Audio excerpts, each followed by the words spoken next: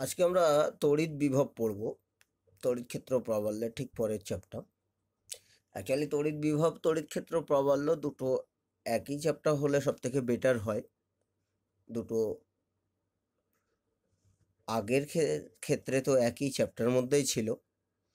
এখন আলাদা করে দিয়েছে। যাই হোক, আমি পড়ার শুরুতে বলি, তোমাদের এর আগের যে চ্যাপ্টারটা করা হয়েছে, সেই চ্যাপ্টার লাস্টের দিকে প্রচুর কোশ্চেন আছে হর্সের কোশ্চেন বা বিভিন্ন রকম কোশ্চেন কোশ্চেনগুলো তোমরা দেখো, যেগুলো পারবে না, সেগুলো আমাকে বলো।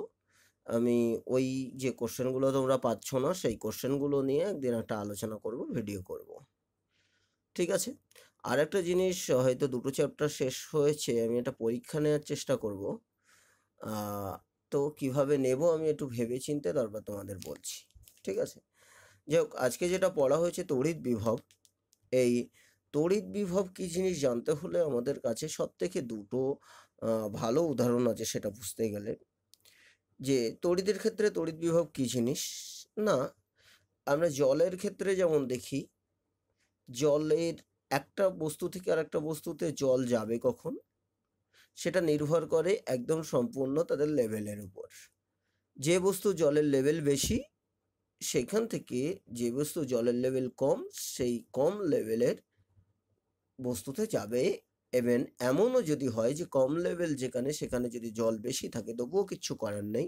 জল হাই লেভেল থেকে লো লেভেলে যাবে। এখানে দেখো আমি একটা বস্তু এঁকে রেখেছি, দুটো বস্তু। আমি এখান থেকে পাইপ দিয়ে যদি দুটোকে কানেক্ট করে রাখি, এতে এত লেভেল পর্যন্ত জল আছে যদিও পরিমাণে কম, আর এতে লেভেলের কম জল আছে কিন্তু পরিমাণে অনেক বেশি। তাহলে এখান থেকে কিন্তু জল এই দিক থেকে এই দিকে যাবে। কারের উপর নির্ভর করছে জলের লেভেল এই জলের লেভেল যেরকম, যে বলে দেবে জল কোন দিক থেকে কোন দিকে যাবে সেই রকম তড়িৎ বিভবও সেই রকম আমাদের তড়িতের ক্ষেত্রে সে বলে দেবে যে তড়িৎ কোন দিক থেকে কোন দিকে যাবে। বা তড়িৎ যাবে কি না জলের লেভেল একই হলে যেমন তড়িৎ যায় না, তড়িৎ বিভবও এরকম একই হলে তড়িৎ যাবে না। সরি জলের লেভেল একই হলে যেমন জল যায় না, তড়িৎ বিভবও এরকম তাদের লেভেল একই হলে কিন্তু তড়িৎ যায় না। ঠিক আছে? এবার আরও একটা জিনিসের সঙ্গে আমরা তুলনা করতে পারি যে দুটো বস্তু নিয়েছি, দেখো। একটা ছোট, একটা বড় এটা হালকা, একটা ভারী। সেখানে আমি ধরলাম এইটায় আশি ক্যালোরি তাপ দিয়ে রেখেছি আর এইটায় একশো ক্যালোরি তাপ দিয়ে রেখেছি।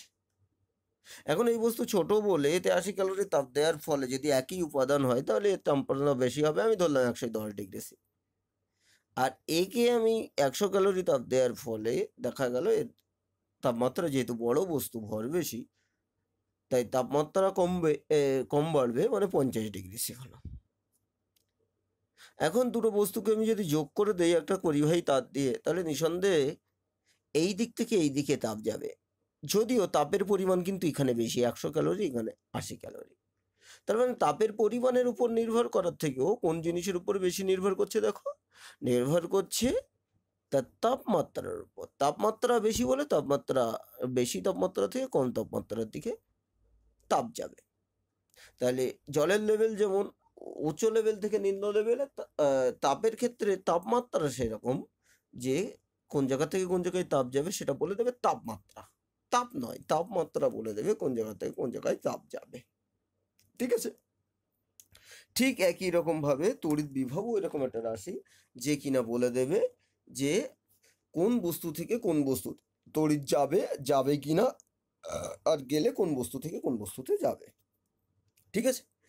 এবার আসি আমরা তড়িৎ বিভবের সংজ্ঞা। তড়িৎ বিভবের সংজ্ঞা আমরা আগেও পড়েছি ইভেন আমরা মহাকর্ষীয় বিভবের সংজ্ঞা পড়েছি, সেটা প্রায় একই রকম। কিন্তু ওটা মহাকর্ষ সম্পর্কিত, মহাকর্ষ বল সম্পর্কিত, আর এটা তড়িৎ বল সম্পর্কিত, তড়িৎ সম্পর্কিত, ঠিক আছে? তো তড়িৎ বিভবের সংজ্ঞা কি? অসীম দূরত্ব থেকে একটি ধনাত্মক আধানকে তড়িৎ ক্ষেত্রের কোনো বিন্দুতে আনতে যে পরিমাণ কৃতকার্য করতে হয় তাকে ওই বিন্দু তড়িৎ বিভব বলা হবে। একদম মহাকর্ষীয় বিভবের যেমন সংজ্ঞা, অসীম দূরত্ব থেকে মহাকর্ষের মহাকর্ষ কোনো বস্তুর মহাকর্ষীয় ক্ষেত্রে কোনো বিন্দুতে একটি একক ভরের বস্তুকে আনতে যে পরিমাণ কৃতকার্য করতে হয় তাকে মহাকর্ষীয় বিভব বলে। একক ভরের বস্তু ওখানে ভর সম্পর্কিত। ওই জন্য আর এখানে আধান সম্পর্কিত বলে একক ধনাত্মক আধানকে আনতে যে পরিমাণ কৃতকার্য করতে হয়। সেটাই হচ্ছে তার তড়িৎ বিভব। তাহলে আবারও বলি, অসীম দূরত্ব থেকে একটি একক ধনাত্মক আধানকে তড়িৎ ক্ষেত্রের কোনো বিন্দুতে আনতে যে পরিমাণ কৃতকার্য করতে হয়, তাকে ওই বিন্দুর তড়িৎ ক্ষেত্র প্রাবল্য বলা হয়। এই সরি তড়িৎ বিভব বলা হয়। ঠিক আছে? আমি এখানে লিখে দিয়েছি, অসীম দূরত্ব থেকে একক ধনাত্মক আধানকে তড়িৎ ক্ষেত্রের কোনো বিন্দুতে আনতে যে পরিমাণ কার্য করতে হয়, তাকে তড়িৎ ক্ষেত্রের ওই বিন্দু তড়িৎ বিভব বলে। বিন্দু চেঞ্জ হয়ে গেলে কিন্তু তড়িৎ বিভবের মানও চেঞ্জ হয়ে যাবে। ঠিক আছে? ধরো কেউ একটা আধান আছে, আর তার তড়িৎ ক্ষেত্র এরকম। যদিও আমরা জানি বাস্তবে কিন্তু বাস্তবে তড়িৎ ক্ষেত্র এরকম একটা লিমিট থাকলেও বাস্তব, এই তোমার তত্ত্বগত দিক থেকে কিন্তু তড়িৎ ক্ষেত্র অসীম পর্যন্ত বিস্তীর্ণ। কিন্তু তার মানে অসীম, ওই জন্য বলছিল অসীম থেকে নিয়ে আসার কথা। তত্ত্বগত দিক থেকে তাই অসীম পর্যন্ত বিস্তীর্ণ। বাস্তব ক্ষেত্রে তুমি যখন তড়িৎ ক্ষেত্র তড়িৎ বিভব নির্ণয় করবে, তখন ওই আধানের জাস্ট তড়িৎ ক্ষেত্রের বাইরে থেকে কোনো আধানকে নিয়ে আসলেই হলো। সেটা তত্ত্বগত দিক থেকে অসীমে, কিন্তু বাস্তব ক্ষেত্রে সেটা তড়িৎ ক্ষেত্রের বাইরের কোনো বিন্দু থেকে নিয়ে আসলেই জাস্ট এই পর্যন্ত তড়িৎ ক্ষেত্র যদি হয়, ধরো এই বিন্দুতে আমি তড়িৎ বিভব নির্ণয় করব, তাহলে সেই একক ধনাত্মক আধানকে জাস্ট তড়িৎ ক্ষেত্রের বাইরে থেকে নিয়ে আসলেই হবে। ঠিক আছে? কিন্তু আমাদের সংজ্ঞা যখন দিতে হবে তখন অসীম দূরত্ব থেকে তড়িৎ ক্ষেত্র বাইরে মানে সেক্ষেত্রে তো অসীম, আমাদের তত্ত্বগত দিক থেকে তাই সেক্ষেত্রে অসীম দূরত্ব থেকে নিয়ে আসা উচিত, ঠিক আছে? যাই হোক, আমাদের তাহলে আমি মনে করলাম যে এই বিন্দুতে আনতে তড়িৎ বিবাহ হচ্ছে ভি যে পরিমাণ কৃতকার্য করতে হয়েছে সেটা ভি আমরা রাশিমালাটাও নির্ণয় করব একটু পরে। তো ভি যদি ওর তড়িৎ ক্ষেত্র প্রাবল্য হয় তাহলে সেক্ষেত্রে দেখো একক ধনাত্মক আধানকে নিয়ে আসতে গিয়ে কৃতকার্য কতটা ভি তড়িৎ বিভব যদি ওই বিন্দুর ভি হয়, তাই না? একক ধনাত্মক আধানকে নিয়ে আসার জন্য কৃতকার্যের পরিমাণ হচ্ছে ভি এখন যদি তুমি বলো যে একক ধনাত্মক আধান নেই, তাহলে কি আমি এ পাবো না? একক ধনাত্মক আধান যদি আমার না থাকে তাহলে কি আমি তড়িৎ বিভব নির্ণয় করতে পারব না? হ্যাঁ অবশ্যই পারবে। কেন পারবে না? একক ধনাত্মক আধান না থাকলেও তুমি তড়িৎ বিভব নির্ণয় করতে পারবে। দেখো, এক ধনাত্মক আধানের জন্য যে কৃতকার্য হবে সেটা ভি যদি তোমাকে প্লাস কিউ আধান থাকে বা মাইনাস কিউ যাই হোক প্লাস কিউ আধান যদি থাকে, আমি ধরে নেই, তাহলে কৃতকার্য কতটা হবে? কিউ ভি একের জন্য যদি ভি হয়, তাহলে তোমার কিউ আধানের জন্য কতটা কৃতকার্য হবে? কিউ ভি ঠিক আছে? তার মানে কি? কিউ আধান যদি আমি ভি বিভব প্রভেদের মধ্য দিয়ে যাই, অথবা কিউ আধানকে যদি ভি বিভব প্রভেদ যুক্ত কোনো বিন্দুতে আমি নিয়ে আসি, তাহলে কৃতকার্যের পরিমাণ ডব্লিউ ইজ ইকাল টু কত হবে? কিউ ভি টোটাল কৃতকার্য। এক হলে ভি আর কিউ আধান হলে Q V W is equal to Q V এটা কিন্তু আমাদের কাজের একটা formula W is equal to Q V ঠিক আছে? দেখো, তার মানে এখান থেকে আমরা যেটা দেখতে পাচ্ছি, কার্য ইজ ইকাল টু আধান ইন্টু বিভব ঠিক আছে? এবার যে কৃতকার্য, ধরো কোনো একটা আধানকে তুমি ধরে টেনে হেসলে, এই তড়িৎ ক্ষেত্রের এই বিন্দুতে নিয়ে আসো, ঠিক আছে? কোনো কিউ আধানকে। তো তোর ধরে টেনে হেসলে, নিয়ে আসলে নিয়ে আসলে কী হবে? তুমি ওর উপর একটা কার্য করে রাখলে। তো তুমি কার্য করে রাখলে কি হবে? সেই কার্যটা কিন্তু ওর মধ্যে স্থিতিশক্তি রূপে সঞ্চিত হয়ে থাকবে। তুমি যদি জোর করে ধরে নিয়ে আসো, ওর মধ্যে স্থিতিশক্তি রূপে সঞ্চিত হয়ে থাকবে। তার মানে এই কার্যটাকে আমরা স্থিতিশক্তি, তড়িৎ স্থিতিশক্তি বলি। স্থিতিশক্তি বলতে পারি। তাহলে স্থিতিশক্তি ইজ ইকাল টু আধান ইন্টু বিভব ঠিক আছে? এটাও বলতে পারি। দেখো স্থিতিশক্তিটা তুমি যদি এইবার ধরে টেনে আসলে হয়তো নিয়ে আসতে এটা পজিটিভ আধান ছিল, ওর পজিটিভ মানে ধরে নিয়ে আসছিলে। ঠিক আছে? এইবার ধরে নিয়ে এসে তুমি এই বিন্দুতে নিয়ে এসে কোনো মতে রেখে দিলে, এবার যদি যেই ছেড়ে দেবে, যে স্থিতিশক্তি হয়ে আছে এর মধ্যে একটা, সেটা খরচ করে কিন্তু ও আবার বাইরের দিকে যাবে বিকর্ষণ বলের জন্য। বিকর্ষণ তোমায় জোরে টেনে হেসড়ে নিয়ে এসে মানে বিকর্ষণ করছে, তাহলে যে কৃতকার্যটা ওর মধ্যে জমা ছিল তার জন্য সেটা ভাঙিয়ে কিন্তু আবার বাইরে চলে যাবে। বা আকর্ষণ হলে তুমি তাকে ওর গতিকে বদ্ধ করার চেষ্টা করছ ওই দিকে যাওয়ার চেষ্টা করছে। ঠিক আছে, তার মানে তুমি একটা কৃতকার্য করে রেখেছো। তুমি যেই ছড়িয়ে দেবে, ও কিন্তু আবার এই দিকে চলে আসবে। ওর আকর্ষণ বলের জন্য। তার মানে ওই যে স্থিতিশক্তির উপরে জমা থাকে, তুমি ওর সুযোগ পেলে কিন্তু সেটা আবার অন্য শক্তিতে কনভার্ট করবে গতিশক্তিতে কনভার্ট করে নিয়ে নেবে। ঠিক আছে? গিয়ে এ হবে। এবার দেখো, তড়িৎ বিভব অ্যাকচুয়ালি কি? একক ঘনত্বক আধানকে নিয়ে আসার জন্য কৃতকার্য মানে এক ধরনের কার্য। তাহলে কার্য যদি হয়, তাহলে এর তোমার কি হবে? কীরকম রাশি হবে? স্কলার রাশি। কার্য মানে স্কলার রাশি হবে। ঠিক আছে? তাহলে তড়িৎ বিভব হচ্ছে একটা স্কলার রাশি। এবার তড়িৎ বিভব সম্পর্কে প্রচুর আছে। বিভব প্রভেদ আছে। একটা বিন্দু থেকে আরেকটা বিন্দুতে নিয়ে যাওয়ার জন্য কৃতকার্য। সরি একটা বিন্দু থেকে আরেকটা বিন্দুতে একক ধনাত্মক আদানকে নিয়ে গিয়ে যেতে- যেতে গেলে যে পরিমাণ কৃতকার্য করতে হয় তাকে ওই দুটো বিন্দুর মধ্যে বিভব প্রভেদ বলবে, বিভবের পার্থক্য। বাংলা কথায় তোমাদের দুটো বিন্দু থাকে, ধরো এ একটা বিন্দু আছে এ আর এখানে একটা বিন্দু আছে বি। তাহলে এ বিন্দু আর বি বিন্দু, এদের বিভবের দুটোর পার্থক্য, ধরো এই জায়গায় তুমি ক্যালকুলেশন করেছিলে সেপারেটলি ভিএ আর এখানে ক্যালকুলেট করেছিলে সেপারেটলি ভিবি তাহলে এদের বিভবের পার্থক্য বলা হয়, বিভবের যে পার্থক্য দুটোর বিভবের যে ডিফারেন্স অর্থাৎ V B minus V A এটা হচ্ছে তাদের বিভবের পার্থক্য বা ভি এ মাইনাস ভিবি ঠিক আছে? তো এটাকেই তুমি যদি সংজ্ঞায়িত করতে হয় বা ক্যালকুলেশন করতে হয়, তাহলে কি করতে হবে?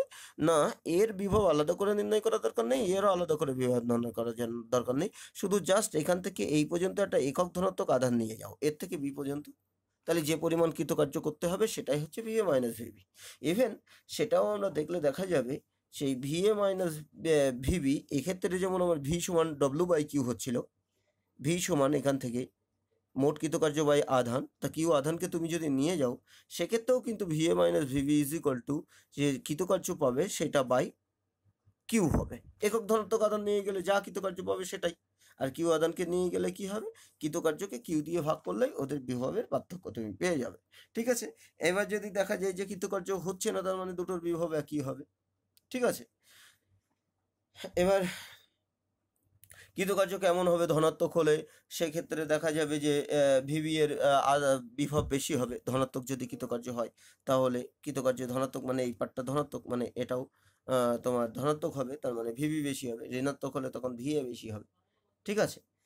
এবার আরও একটা কথা এই প্রসঙ্গে বলে রাখি, দুটো বিন্দুর মধ্যে যে বিভব পার্থক্য আছে বা বিভব প্রভেদ আছে এটা কিন্তু নির্ভর করে শুধু দুটো বিন্দুর মধ্যে। দুটো বিন্দু, তুমি কোন পথ বরাবর আধান নিয়ে গেছো তার উপর নির্ভর করে না। এভাবে নিয়ে গেলেও যা বিভবের পার্থক্য হবে, তুমি যদি এরকম কোনো পথ বরাবর নিয়ে যাও, বিভবের পার্থক্য একই হবে। তার মানে এই যে বিভবের প্রভেদ, এটা কিন্তু অবস্থার অপেক্ষক, পথ অপেক্ষক না পথের উপর নির্ভর করে না সঞ্চয়কারী পথের উপর কোনো মতো নির্ভর করে না। ঠিক আছে? আবার আরও একটা কথা বলি কথা প্রসঙ্গে তুমি ধরো এই পথ বরাবর নিয়ে গেলে ওকে যে পরিমাণ কৃতকার্য করতে হবে তুমি ধরো সেই আধানকে এই পথ বরাবর ফিরিয়ে আনলে উল্টো দিক থেকে। পথটা হয়তো অন্যরকম ডিফারেন্ট পথ কিন্তু বিন্দু দুটো যদি একই থাকে তাহলে ফিরিয়ে আনার জন্য কৃতকার্যটা একই পরিমাণ করতে মানে সেই কৃতকার্যটা ফেরত পাবে। অর্থাৎ ডব্লু পর্যন্ত যদি এখান থেকে এই জায়গায় নিয়ে জানার জন্য আহ, এর থেকে বিতে নিয়ে জানার জন্য তাহলে বি থেকে এতে নিয়ে আসার জন্য কৃতকার্য সেই মাইনাস ডব্লু ফেরত পেয়ে যাবে তোমরা। মানে মোট কৃতকার্য শূন্য হবে। একটা চক্রাকার পথ বরাবর। বিভবের একক সম্পর্কে বলি বিভবে বিভবের সিসিএস একক হচ্ছে ইএসইউ বিভব। দেখো আমি বলেছিলাম অলরেডি যে ইএসইউ কিন্তু আহ, বারবার ইউজ হবে। ইএসইউ শুধু আধানের একক নয় ইএসইউ অনেক কিছুর একক আছে।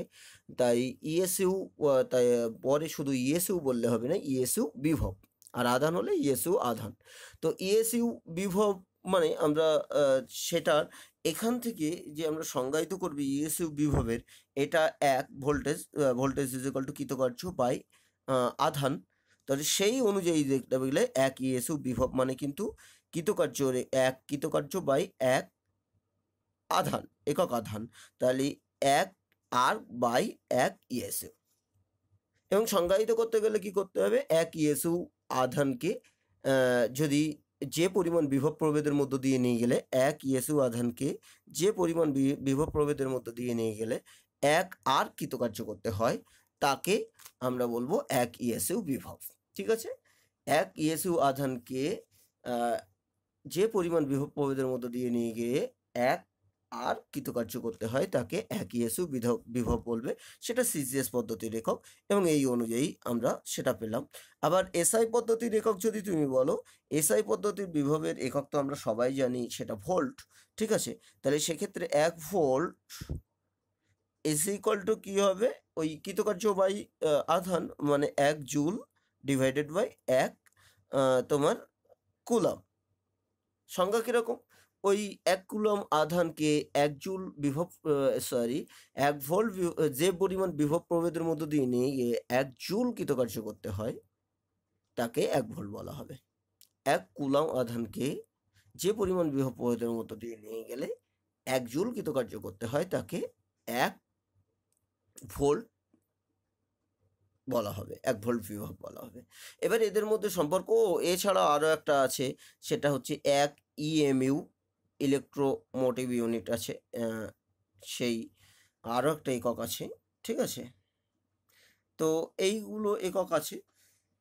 এবার সেক্ষেত্রে এক ইএমইউ আধান নিয়ে যেতে হবে ওয়ান ইএসইউ আধান না, ঠিক আছে? এবার এই কটা এককের মধ্যে একটা সম্পর্ক আছে, আমি সম্পর্কটা লিখি। দেখো তাদের সম্পর্কগুলো আমি লিখে ফেলেছি, এক ইএসইউ বিভব is equal to three into ten to ten EMU বিভব, এক ইএসইউ বিভব ইজ ইকাল টু তিনশো ভোল্ট, এটা তোমরা জানো মাধ্যমিক থেকেই। তারপর এক volt is equal to ten to the power eight EMU ঠিক আছে? তার মানে এখান থেকে একটা জিনিস কিন্তু দেখছি যে একটা নতুন টাইপের জিনিস মনে রাখার ক্ষেত্রে ব্যতিক্রম জিনিস সেটা হচ্ছে সিজিএস পদ্ধতি ইউনিটের মান ইউনিটটা বড়। সিজিএস পদ্ধতি ইউনিট বড়, ঠিক আছে? দেখো ওই ইএসইউ বিভব কিন্তু ভীষণ বড়। যদিও আধান কিন্তু ইএসইউ আধান কিন্তু এসআই এসআই পদ্ধতির আধানের একক কুলম্বের থেকে বড় নয়, কিন্তু ভোল্টের থেকে কিন্তু ইএসইউ কিন্তু অনেক অনেক বড়, ঠিক আছে? এক ভোল্ট ইজ ইকাল টু একের তিনশো ইএসইউ ঠিক আছে? ওকে, এটা কিন্তু এখান থেকে শর্ট কোশ্চেন পড়েই, মাঝে, মাঝেই। এরপরে আছে বিভবের মাত্রা, যেটা প্রচণ্ড ইম্পর্টেন্ট ঠিক আছে? বিভবের মাত্রা আমরা ওই রাশিমালা থেকেই পাবো। মাত্রা নির্ণয় করতে গেলে একটা রাশিমালা দরকার হয়, সেই রাশিমালাকে W V is equal to W by Q ঠিক আছে? এবার ডব্লিউ বিভবের মাত্রা ইজ ইকাল টু তোমার কৃতকার্যের মাত্রা বাই আধানের মাত্রা, কৃতকার্যের মাত্রা M L square to to minus two আর আধান আইটি ঠিক আছে? এবার ক্যালকুলেশন করলে M L square to to minus three I to the power minus one এটা হচ্ছে আমাদের বিভবের মাত্রা। ঠিক আছে? ইম্পর্টেন্ট আছে, এটা প্রায় পরীক্ষায় পড়ে শর্ট কোশ্চেনে বিশেষ করে। দেখো, আমাদের এখন যেটা পড়তে হবে পৃথিবীর বিভব।